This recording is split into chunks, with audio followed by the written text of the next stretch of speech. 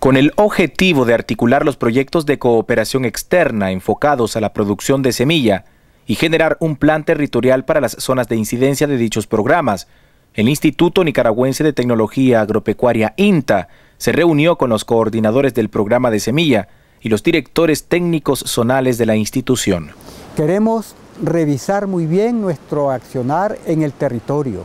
para que estos programas verdaderamente sean complementarios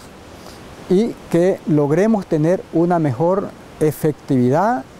en la implementación de este Sistema Nacional de Semilla, en la producción de semilla. Este evento de estudio minucioso sobre las actividades que cada proyecto de semilla ejecuta servirá para administrar mejor los recursos que la cooperación extranjera invierte en el desarrollo de nuestro país.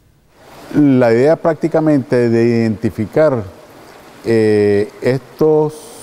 componentes donde pueden haber, digamos, alguna duplicidad, es más bien reorientar esos recursos hacia otra área, digamos, que no ha sido cubierta.